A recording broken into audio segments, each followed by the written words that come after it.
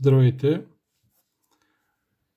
Искам да направя едно бързо ревю на един клонинг на Rolex, който получих преди няколко дена. Просто искам да споделя някои впечатления относно модела и доколко той се доближава до, до истинския модел. Закупен е в Турция. Пристигна в тази котийка. Естествено, срещу доплащане можеше да пристигне и в котийка, подобна на тази на оригиналния, с разни книжки и буклуци вътре, на които аз изобщо не държа, защото скъпява продукта. Мене ме интересува самия часовник да го отворим. Така, както виждаме, това е небезизвестния модел, клонинг на небезизвестният модел Rolex Date Just 41, т.е. 41 мм е самия часовник. така.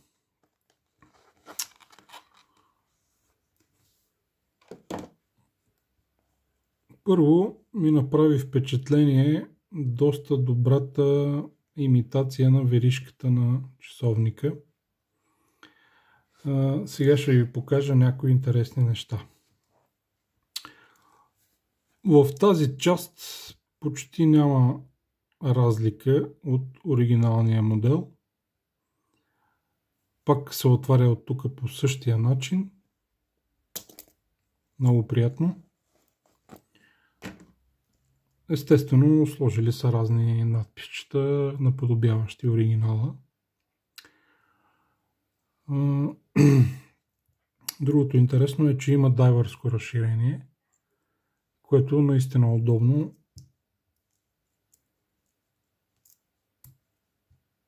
Аз лично го използвам.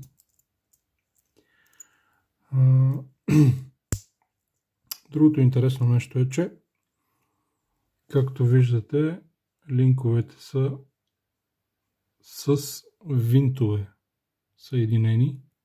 Аз съм махнал вече няколко. Вместо а, пинчетата, нормалните, които слагат. Тоест наподобява наистина оригиналния часовник. Също така веришката, както и оригинала, по средата е полирана, а отстрани е брашната. Тук също. А, интересното на логото е, че доста са напреднали китайците. Не е просто изрязано, а както виждате, а, самите топчета на коронката са си а, наистина като топчета, т.е. не е гладко, а са като топчета. Същото въжи и за самото лого на, на циферблата. Тук също са като топчета, като оригинала, не е просто изрязано. А, сега, само още едно нещо за виришката. Тук има разлика в оригинала. Точно в този крайния линк. Оригинала, предполагам сте виждали, тук наподобява самата виришка. Тоест тук има още една в длъбнатинка, а не както е тук. Но, това е дребна забележка. Не чак толкова дребна, но ще я преглътнем. Друго, което ми направи впечатление, освен топчетата на логото на коронката, Другото, което ми направи впечатление е, че на самото стъкло, ето тук някъде, едва ли може да се види. Просто се вижда при определен... Ето тук, тук точно има пак логото на Rolex в самото стъкло. Циклопчето доста добре, хубаво увеличение дава. Стрелки, индекси, всичко е окей. Okay няма някакви груби несъответствие. Това, което забелязах обаче, че самите индекси не са точно центрирани към а, индексите на минутите. 45, 50, 55. Просто не са центрирани точно срещу самото число. Или поне не, не навсякъде. Например, на, на, да речем на 35, на 30, на 25 са окей. Тук се разминава на 20, на, на 10, на 5 е окей. На 55, на 50, на 45 и на 40 има... Не е точно в центрирано.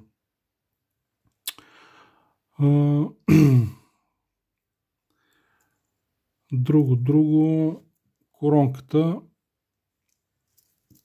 също е с логото, но доколкото знам, на оригинала под коронката имаме три точки. Три точки, които индикират, предполагам, трите степени на, на дърпане на коронката. Тук имаме една чертичка. Просто една чертичка. Така, друго интересно, коронката е на винт, но няма оплътнение, или поне аз не го виждам. Тоест, не, всъщност може и да има. Съм сигурен. Пак три степени. Втората степен е за датата, третата е за часа, както виждаме с хак механизма, което е добре.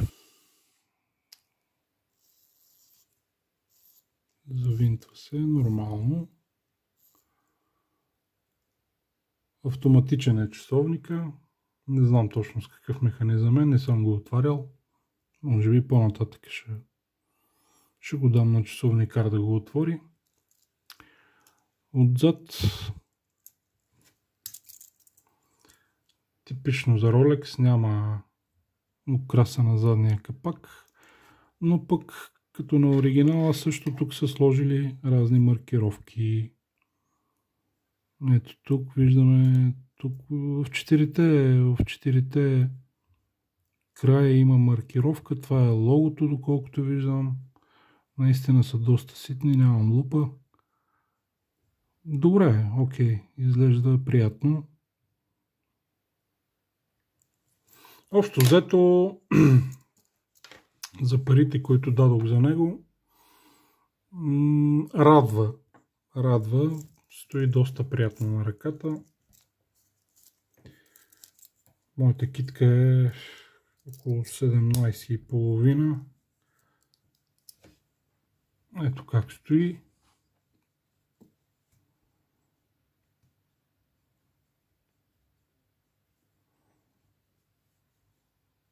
Общо взето бива. Харесва ми. Може да пробваме да видим лума как е. Трябва да изключим всякакви светлини.